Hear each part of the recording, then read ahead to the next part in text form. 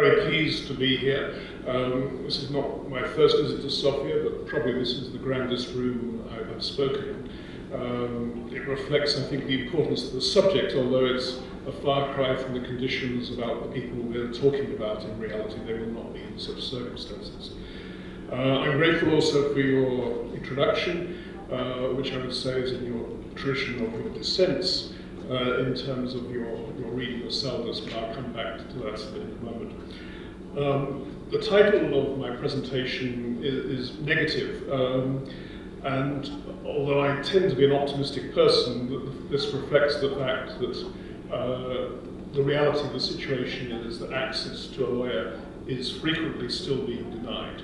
Um, and unfortunately, um, although there are some good aspects to the case law of the European There are also quite a number of instances where access is not being regarded as important, and therefore um, we get into serious problems.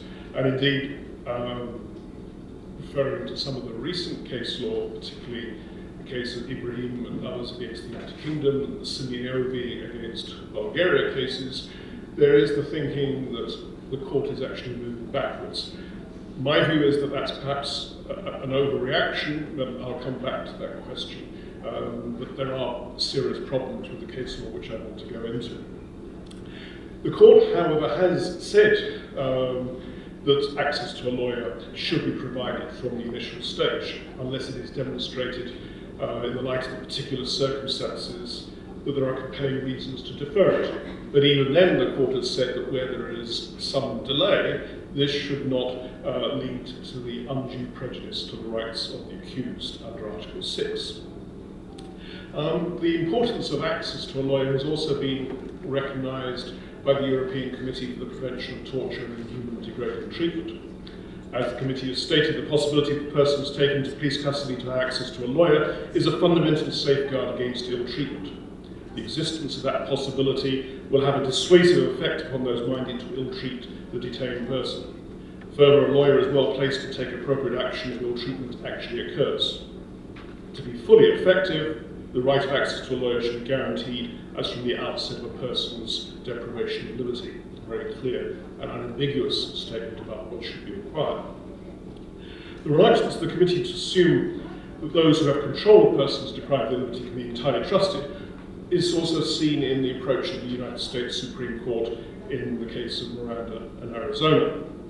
Um, and therefore they insisted that they would not accept any um, material uh, in evidence unless it was demonstrated that the person had been notified of the right to remain silent, the right to the presence of an attorney, and that the person concerned had knowingly and intelligently waived those rights and agreed to answer statements, make, answer questions or make a statement. But it's important when reminding ourselves of these statements to bear in mind that the approach of both the European Court and the US Supreme Court are somewhat different from that of the European Committee for the Prevention of Torture because their concern is not with the issue of ill treatment as such, it's concerned with the trial um, and the um, way in which that unfolds. And therefore, I think it's important when looking at this question, in particular the case law of the court, not simply to start from the Salduz case, but actually to go back um, to before that and see how the line of reasoning has developed. It's also important to bear in mind that the convention itself has nothing to do with the pre-trial proceedings except in relation to Article 5, which is concerned with the question of deprivation of liberty and judicial supervision of that deprivation of liberty. It is not concerned at all uh, explicitly with the question of access to a lawyer. And if you look at the case law of the both the former commission and the court over the many years since the convention came into place, you'll see that for probably getting on for 35 years, the issue of access to a lawyer did not actually feature um, in the case law at all, or if it did, it was held that the claim of denial of access was not substantiated, or occasionally that there was no prejudice. The first real change in approach came in the 1988 judgment of Barbera, Messegué and Jabardo against Spain. where the court expressed reservations about confessions having been detained during a long period of custody in which the applicants had been held incommunicado. But although it expressed those reservations, when you look at the actual finding that there was a violation of the convention, it does not actually rely upon that fact that they were kept incommunicado. So it's a warning sign, but no more than that. The big change came with the judgment in Imbrioscia and Switzerland, um, where the court rejected the view of the Swiss government, which was clearly shared by a good number of other governments in the Council of Europe, that Article 6 had no application to pre-trial proceedings. This was the general approach they were trying to suggest that it was irrelevant. Um, but that clearly was an untenable position, not least given the earlier judgment in Golder against the United Kingdom, uh, where Article 6 was concerned with the question of even getting access to court, albeit in a civil matter. And so the court emphasised, as it often likes to do, with this wonderful statement that the rights under the Convention are not theoretical or illusory, but practical and effective. A very good statement, but in reality, if you look at the Imbrioscia case, actually rather hollow, because although the court makes the statement about the right of access, when it came to looking at the situation, it found that there was no violation of the Convention at all. And the reason in which it did so was the way in which it saw the right of access to lawyer, which the assistance of a lawyer rather, which is set out in Article 6, paragraph 3c, um, which in its wording would seem to be connected with only the trial process. It does accept that it applies to the pre-trial stage, but it also linked that provision of the Convention to the general right of a fair trial under Article 6, paragraph 1. And that is where the real problem has become. Because once you make that link, what the court is then doing is being concerned about whether or not the overall fairness of the proceedings has been compromised by the defect. And that was the view that was found not to be established in the Imbrioscia case itself. Court, as it has done subsequently in many instances, says you have to scrutinise the proceedings and then decide whether or not the person has been denied a fair trial. And in this particular case, they took the view that although he had been denied a lawyer for certain interrogations, he had then failed to complain subsequently about the inactivity of his lawyer once he received the lawyer's assistance. Um, and they also emphasised how important it was that at the trial he was assisted by a lawyer and was able to uh, challenge the evidence. So that starting point, which in many ways was presented as a great development, and in some sense it is, nonetheless contains an inherent flaw which is highly problematic.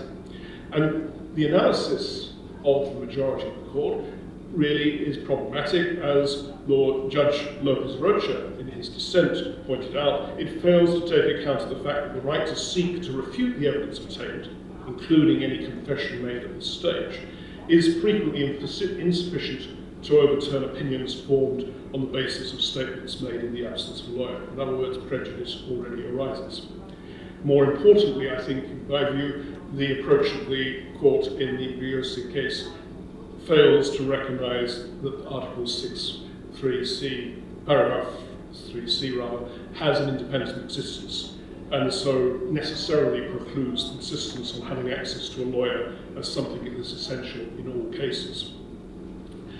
And so you get to a situation um, that you are looking with retrospective effect in, in, a, in circumstances when actually, at the time when it most matters, you cannot really be clear how the course of events is going to unfold. That is why it is so important that you have access to a lawyer at the outset, because no one knows.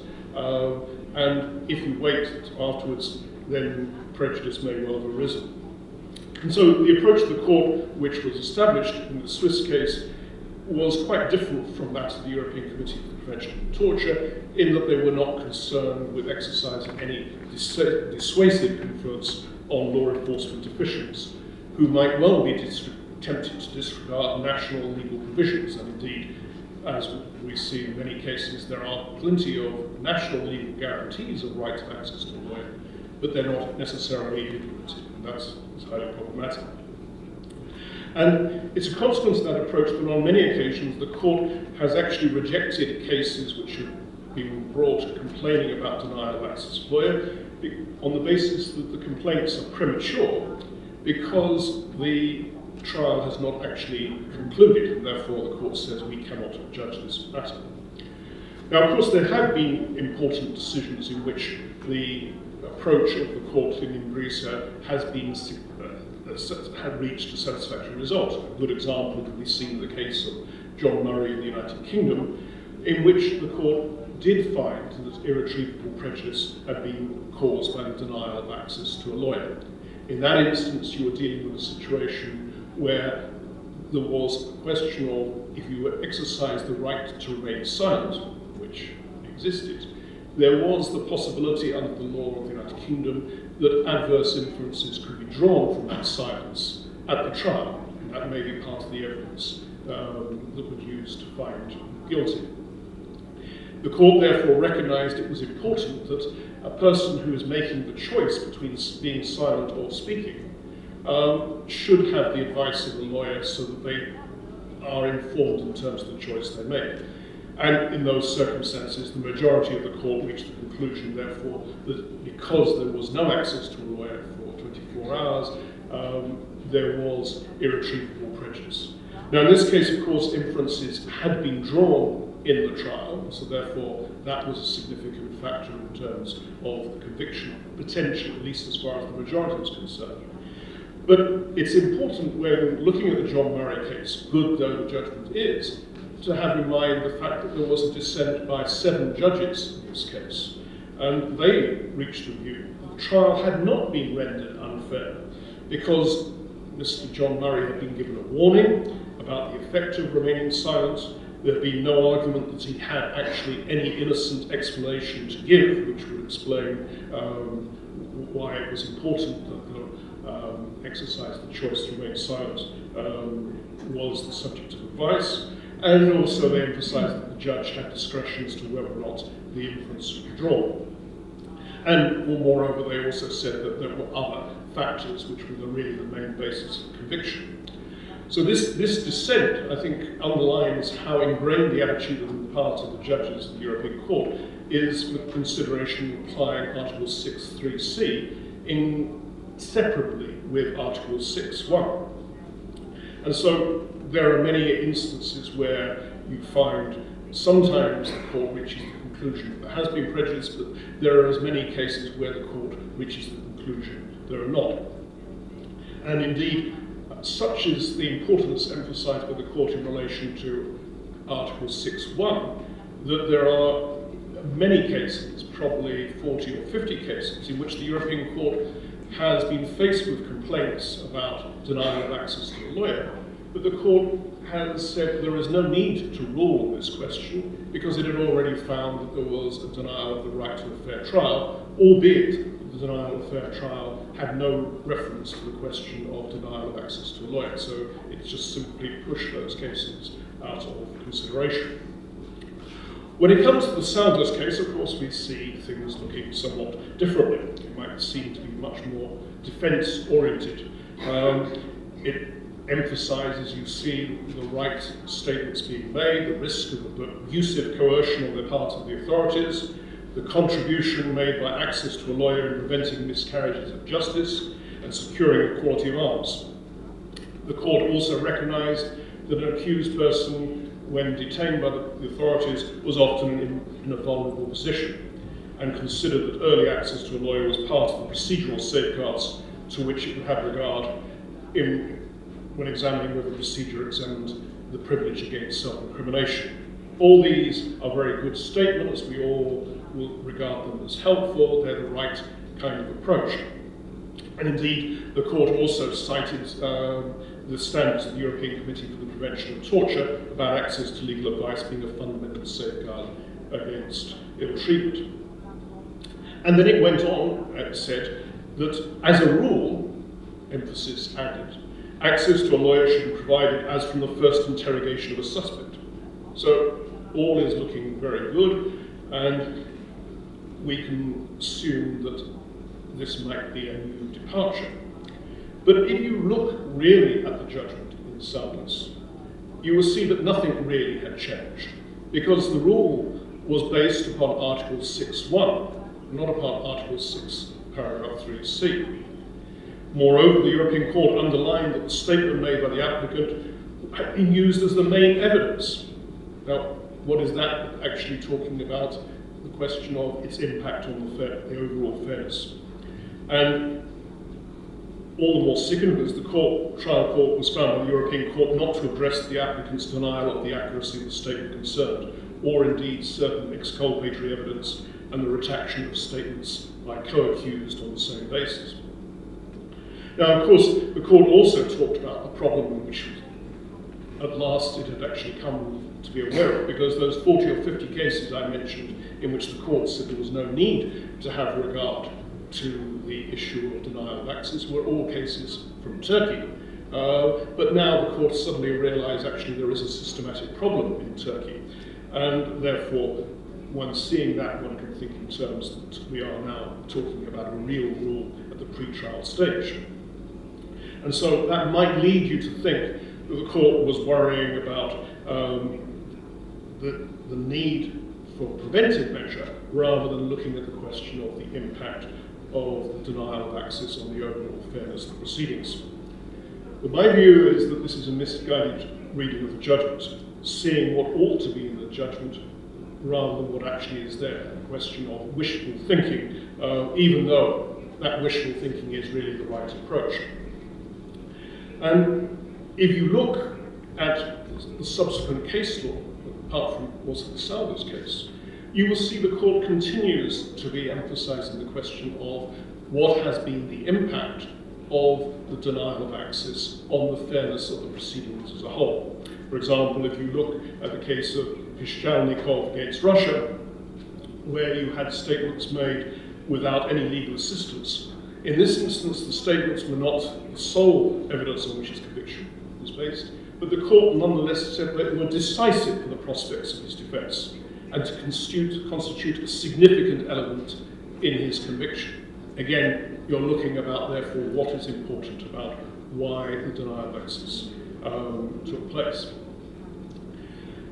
A, a different approach reading and a more uh, consistent reading with the wishful thinking about the Salduz judgment can be seen in the, the case of Aras and Turkey number two, in which the majority, and it's important to emphasize the majority of the chamber, relied only upon the statement that access was required as a rule from the first question. In other words, they took a very uh, good reading, as some people would say, of the Salduz judgment. They emphasized this part.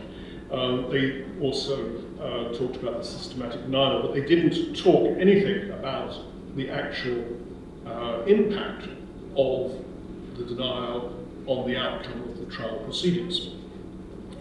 So that looks like we really are on track, that uh, despite my attempt to suggest that Salduz is not what it says, the court does look as if it's going in the direction of saying you should have access but the party was spoiled by the dissenting judgments uh, of Judges Spano and Lemmens um, because they went back and looked closely, as I have done, at the question of what actually was said in Salduz, and they emphasized that the reading was, or the majority was wrong because the issue was whether or not irretrievable prejudice had been caused. And therefore, they suggested the majority of the court were taking the emphasis placed on the systematic denial as being completely out of context.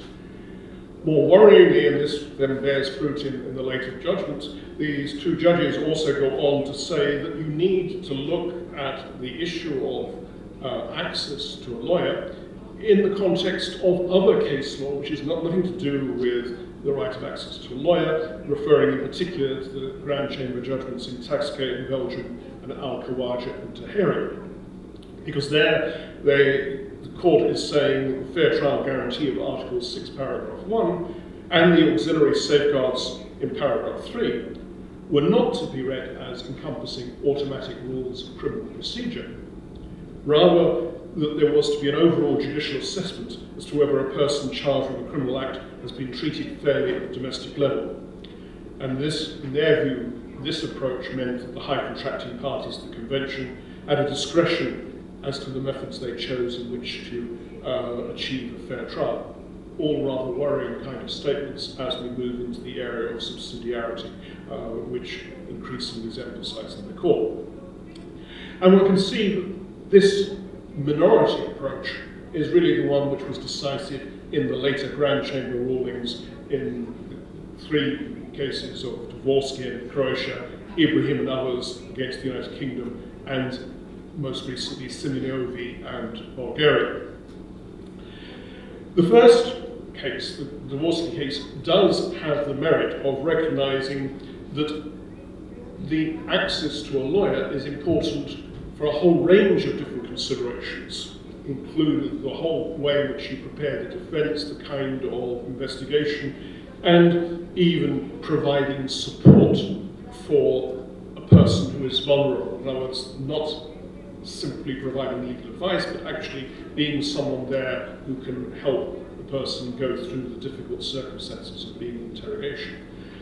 Unfortunately, that element of the judgment in Dvorski seems to be forgotten in subsequent rulings, uh, and there was no response to submissions based upon that in the Simeonovi case that the court simply seems to forget that these are important considerations. So in the, the two other cases, the Ibrahim case and the Simeonovi case, you see the court emphasizing not only the need for overall uh, impact to be assessed, but also elaborating at great length the factors that it considers important for determining whether or not there has been an impact on the overall fairness. And the court says there are, in the judgment, particularly in Ibrahim, endorsed in Simeonovi, there are, are at least 10 factors. The good news, perhaps, is these 10 factors were said not to be exhaustive, so if you have some other ideas, you can add these, um, but uh, it remains to be seen whether the, court will accept it. So you have to take, first of all, the question of the particular vulnerability of the applicant, age, mental capacity in particular. Secondly, the legal framework governing the pretrial proceedings and the admissibility of evidence, as well as the issue of compliance. And if there is an exclusionary rule which is used, then that's going to mean that probably there is no unfairness. The existence of an opportunity for the person to challenge the authenticity of the evidence and to oppose its use. doesn't mean that it's accepted, it's having the opportunity which is important. The quality of the evidence and the existence of circumstances casting doubt on its reliability and accuracy, taking into account any compulsion so the good news is that if your client is tortured or ill-treated, then you stand a stronger chance of, of winning on this case. But uh, that isn't, of course, always what happens. The nature of the unlawfulness use, so again coming back to the question of was ill-treatment use. The nature of the statements made, and the issue of whether it was properly retracted. So important, therefore, that you immediately deny any confession you make, perhaps. Uh, but of course, that doesn't mean to say that it has to carry weight. The use to which the evidence was put, the extent to which it formed an integral or significant part of the probative evidence upon which the conviction was based, as well as the strength of the other evidence. The nature of the tribunal, was it trial by professional judges or by lay jurors? Uh, and if it was the latter, what was the quality of the directions given to those jurors? And then the weight of the public interest in the investigation and punishment of a particular offence in issue. I'll come back to that in a moment. And then finally, any other relevant procedural safeguards which exist under domestic law practice. Now, in the Ibrahim case, the court found that as far as three of the applicants using these factors, that there was no irretrievable prejudice concerned. They emphasised that the delay was short, between four and eight hours in cases. It was prescribed by law. There were rules on the admissibility of evidence, which were considered an argument before a trial court. there was an absence of any evidence of compulsion, and there was existence of other strong evidence. And also, there was a strong public interest in the investigation and punishment of the offences in question, which were terrorist-related offences. On the other hand, in the case of the fourth applicant, who had initially been treated as a witness, there was no legal basis for continuing to question him, so therefore one of the factors was failed. But if you look at his situation, as is pointed out by some of the separate opinions, there really wasn't much difference between the fourth applicant and the other three in terms of the case. And that goes to the question of the difficulty you might see in actually working out whether you're going to win or not on the question of talking about how the factors work. But what is particularly, or at least potentially disturbing about the Ibrahim case is this emphasis on the question of the public interest in investigation and punishment. It is unclear to me what this has to do with the question of fairness of proceedings. Um, it, it's important, but it's not important for a question of fairness, unless you're saying, in some respect, that you can lower the standard of fairness in cases where there is a real need to prosecute people like nasty terrorists. But when you look at the case, I don't think that was actually what a factor was at all, even though they refer to it. It didn't seem that they were lowering the standards, but it opens the door um, to the possibility that later judgments will, would do so.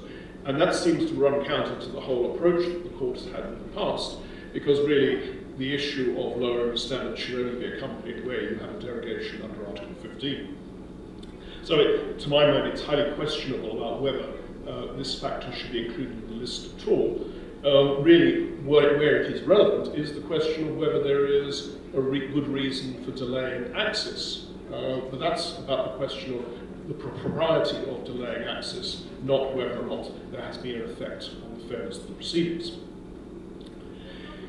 In the Simeonovi case, the overall fairness of the proceedings was also considered by the majority of the court to have been secured, despite the applicant having been questioned over a three-day period without being allowed access to a lawyer, and notwithstanding that there was a clear right under national law that he should have been given access to the assistance of a lawyer.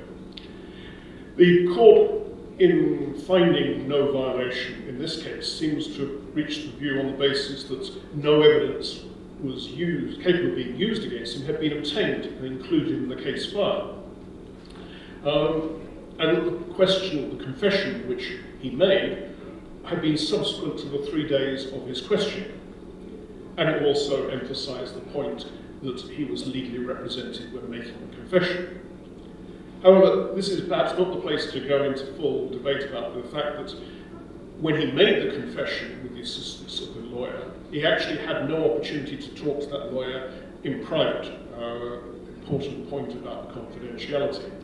Um, the absence also of access to legal advice during the questioning, did that have some impact on the future course of the proceedings?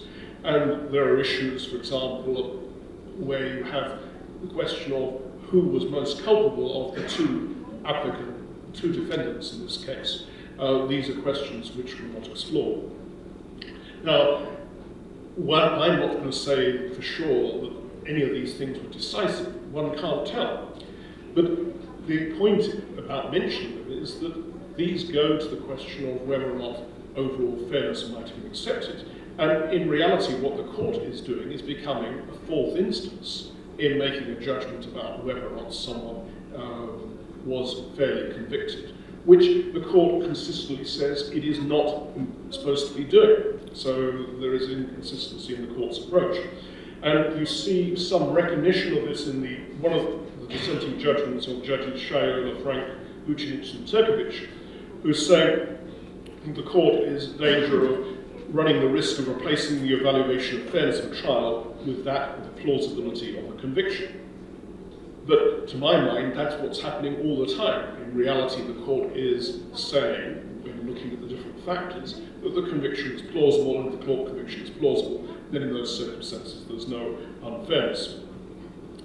Now, without accepting the overall fairness approach, it's regrettable that the list of factors uh, which I've mentioned doesn't explicitly refer to one which was emphasized in another case, the case of Todorov in Ukraine, namely the impossibility of excluding that the very existence of self-incriminations will influence the way in which the investigation is then conducted and the manner in which evidence was taken and evaluated. In other words, if you have something said, does it shape your interpretation of events?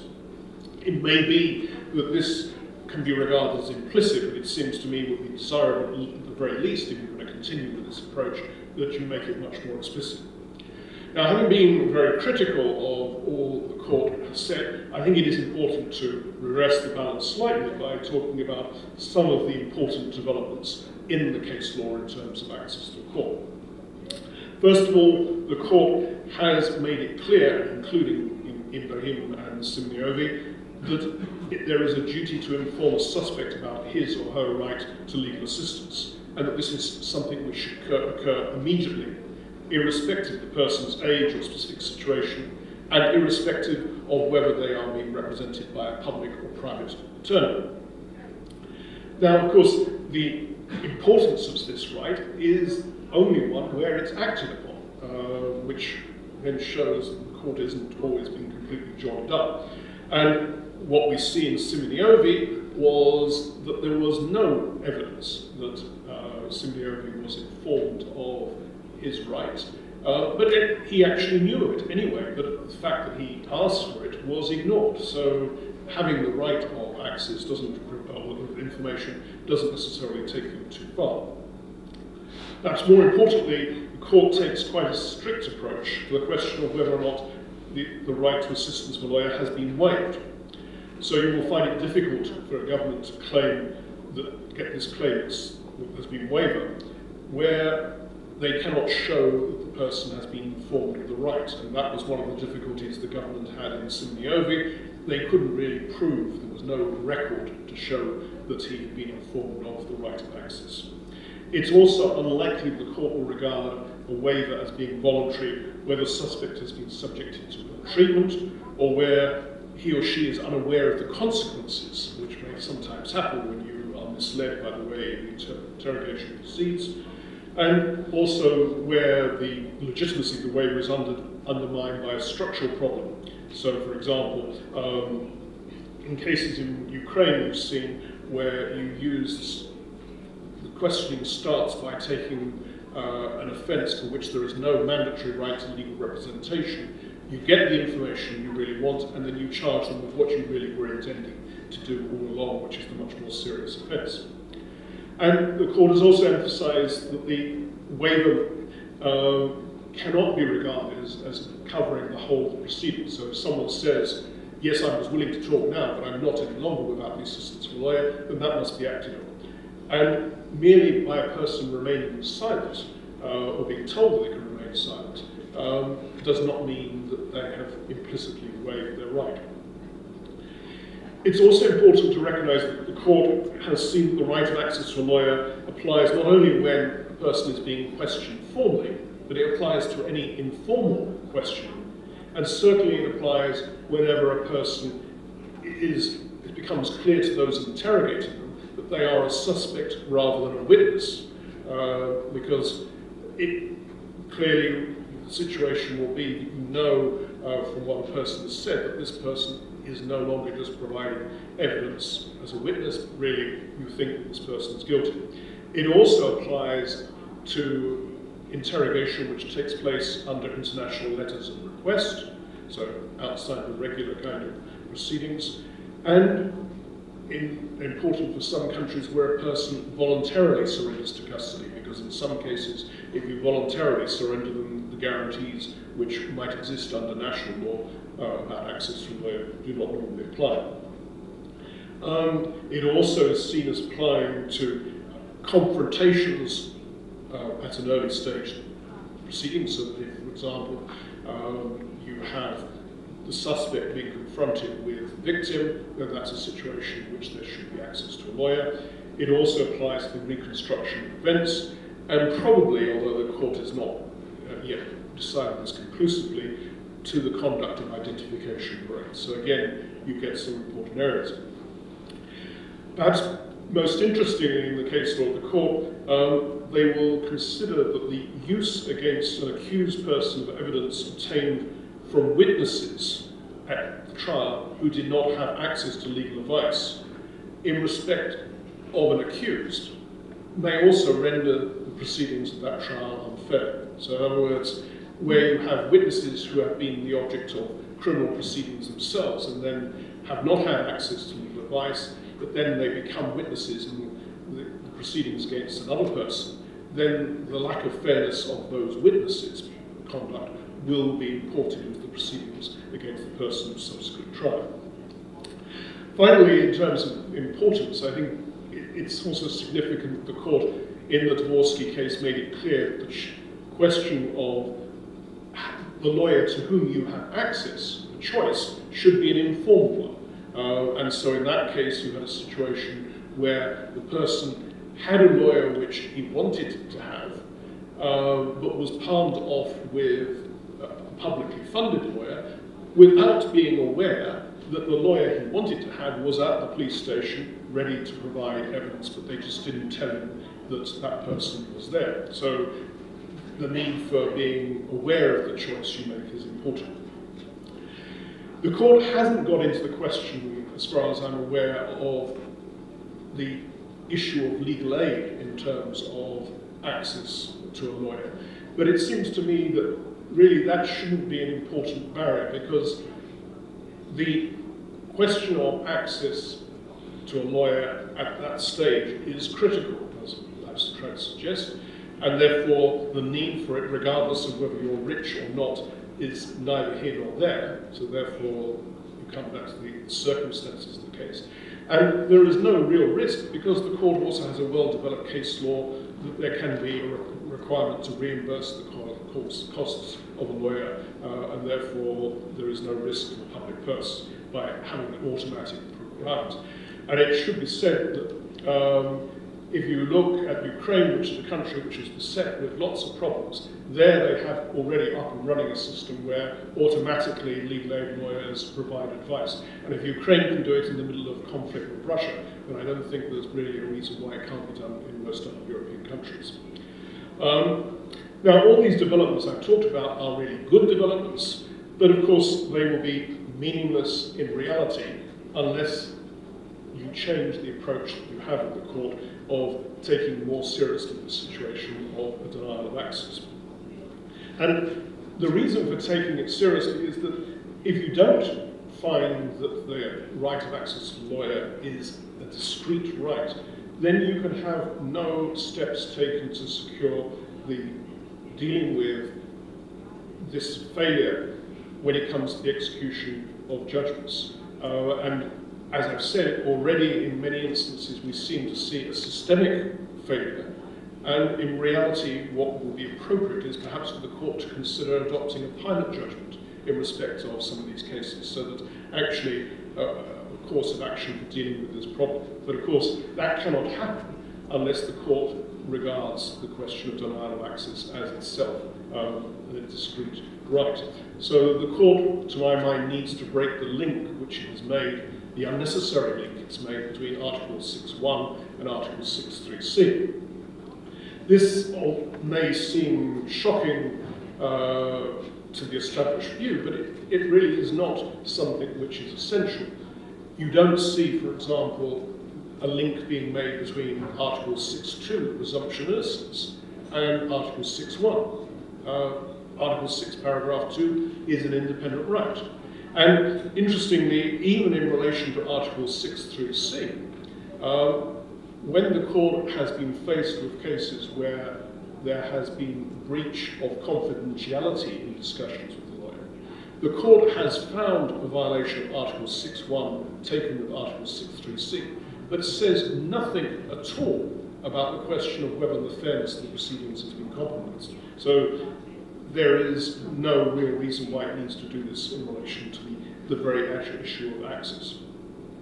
And working with hindsight is not really the best way of determining whether rights under the Convention are protected. There will, of course, be some cases where fairness is definitely compromised. Um, indeed, the judgment yesterday in Dimitar Mitev against Bulgaria is a very good example of this, the evidence was very strong that the denial of access to the lawyer had an effect. But many cases, it's not as clear-cut. You can't be sure. And I'm not sure that the court itself in Strasbourg is well placed to do it. Therefore, it would be much better if the court took the stance that there needs to be uh, a discrete right of access to a lawyer and that the implementation of this discrete right can then be supervised by the Committee of Ministers in the execution of the judgments. There will undoubtedly be some who say, well, if you do this, this will lead to an increase in the caseload of the court. All the time there is concern about too many cases. But if this issue is addressed head on, then the likelihood is that over the long term there will be a reduction in complaints that criminal proceedings have been unfair because the person has been legally represented.